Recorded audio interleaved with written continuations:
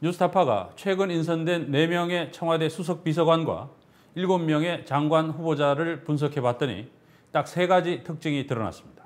친박이거나 강한 보수 성향이거나 또는 영남 출신이었습니다.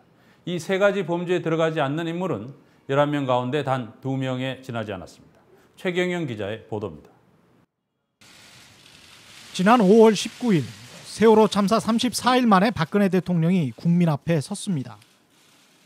지금 정부가 추진하고 있는 비정상의 정상화 개혁을 반드시 이루어내서 국민의 생명을 담보로 끼리끼리 서로 봐주고 눈 감아주는 민관 유착의 고리를 반드시 끊어내겠습니다.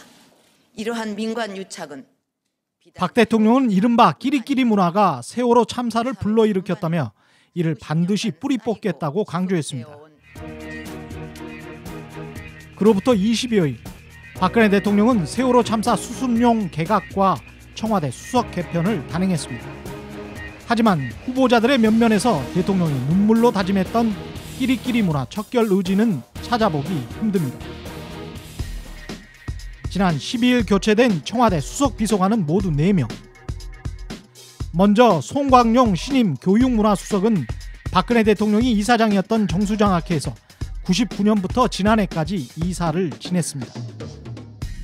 우리 박근혜 후보를 사랑하시는 국민 여러분들, 우리가 선거법을 조윤선 정무수석 비서관은 2012년 새누리당 대선 후보 경선 때부터 박근혜 캠프 대변인을 맡은 대표적인 친박 정치인입니다. 안종범 경제수석 역시 지난 대선 당시 박근혜 캠프에서 경제 공약 개발을 총괄했던 또 다른 친박 인사입니다. 지난 13일 발표된 신임 장관 후보자들은 모두 7명. 여기에도 친박 인사들이 대거 등용됐습니다. 대선 당시 박근혜 후보의 비서실장이었던 최경환 경제부총리 후보자는 친박 가운데서도 가장 핵심 인물로 분류됩니다. 새누리당 내 경제통으로 꼽혀왔으나 박근혜 지키기에도 앞장서 왔습니다. 제가 왜 오는지 압니까? 박근혜 대표께서 매일 전화해가지고 그 7억 들어가 빨리 들어가 보소 들어가 보소 그래서 옵니다. 예, 우리 이완영이 꼭 좀 당선시키라 해서. 정종섭 안전행정부 장관 후보자 정성근 문화체육관광부 장관 후보자 김희정 여성가족부 장관 후보자 한민구 국방부 장관 후보자 역시 박근혜 대선 캠프나 새누리당 등을 통해 대통령과 인연을 맺었습니다. 특히 최경환 경제부총리 후보자는 경북 출신으로 박근혜 대통령과 동양 김영한 민정수석도 경북 우성 출신의 대구고등학교를 나와 박 대통령과 지연으로 얽혀 있습니다.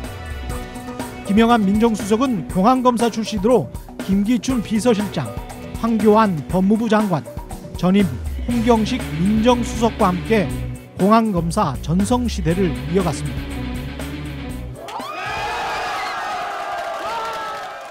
교육정책을 총괄할 교육부 장관 후보자와 교육문화수석의 보수 색채가 강한 인물들이 기용된 것도 이번 인사의 특징입니다. 이 때문에 지난 지방선거에서 대거 당선된 이른바 진보 교육감들과 대립각을 세우려는 의도가 아니냐는 분석도 나오고 있습니다. 실제 김명수 교육부 장관 겸 교육사회문화 부총리 후보자는 지난 2월 문화일보와의 인터뷰에서 좌편향 교사들이 역사 교육을 좌지우지하고 있다며 필요하면 이념 투쟁을 전개해야 한다고 주장한 바 있습니다. 그는 또 좌파 및 진보 성향 시민단체들이 교학사 교과서 채택을 반대한 것은 국민적 수치라는 말까지 했습니다. 여기에다 정종섭 신임 안전행정부 장관 후보자도 역사 왜곡으로 무리를 빚은 교학사 교과서의 주요 필진이 포진해 있는 한국현대사학회 이사 출신입니다. 이념적으로도 오히려 관료들보다는 다른 밖에서 주변에서 활동했던 사람들 공안검사 출신이라든가 교육운동 쪽에서 보수운동을 해왔던 사람이 맞다는 점에서 오히려 이념적인 편협성은 강화됐다고 볼 수 있겠죠. 대통합을 전면에 내세우고 인사탕평하는 거고 그런데 그것하고 상관없이 지금 그대로 가버린 거죠.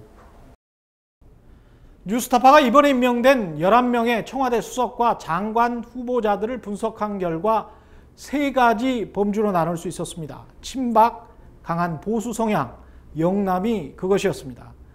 11명 가운데 여기에 해당되지 않는 사람은 이기권 고용노동부 장관 후보자와 최양희 미래창조과학부 후보자 단 두 사람뿐이었습니다. 최경환 부총리와 정종섭 안전행정부 장관 후보자, 안종범 경제수석과 김영한 민정수석, 송광용 교육문화수석 등 핵심 요직에 등용된 인사들은 두 가지 이상의 범주에 포함됐습니다. 이번 인사에서 또 한 가지 두드러진 점은 박근혜 정부 경제팀의 사령탑으로 내정된 최경환 경제부총리 후보자와 경제 관련 부처 장관들의 각별한 관계입니다. 최양희 신임 미창부 장관 후보자는 최경환 부총리 후보자가 지식경제부 장관 시절 운영했던 국가 R&D 전략기획단의 초대 멤버 가운데 한 사람이었고 윤상직 현 산업통상자원부 장관은 최 부총리 후보자가 장관 시절 기획조정실장을 지낸 사이이자 미국 위스콘신대 동문 안종범 신임 경제수석 역시 최 부총리 후보자와 위스콘신 대학교 동문입니다. 경제 분야에선 완벽히 그들만의 리그가 형성된 것입니다. 특히 최경환 부총리 후보자는 내정 직후 바로 부동산 규제 철폐를 언급하는 등 성장 위주의 정책을 강하게 펼 것임을 예고했습니다. 박근혜 대통령이 후보 시절 주창했던 경제민주화는 이제 현 정부의 핵심 의제에선 완전히 멀어진 것으로 판단되는 대목입니다.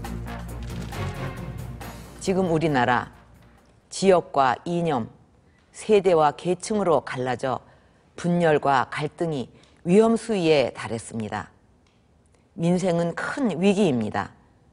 다음 대통령 5년 임기 동안 무너진 민생을 다시 일으켜 세우고 갈라진 국민의 마음을 하나로 묶어내지 못한다면 이 나라의 미래가 어떻게 될 것인가? 그 절박한 심정이 저를 이 자리에 서게 했습니다. 박근혜 대통령은 대선 후보 시절부터 탕평 인사와 국민 대통합 정책을 통해 100% 대한민국을 만들겠다고 약속해 왔습니다. 국민 모두가 하나 되는 대한민국.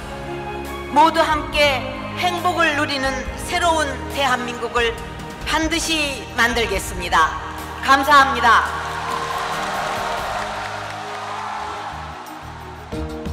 그러나 문창극 총리 후보 지명에 이은 이번 내각과 청와대 수석 개편은 박근혜 대통령 자신의 인사 행태 자체가 이른바 끼리끼리 문화의 표본임을 잘 보여주고 있습니다. 뉴스타파 최경영입니다.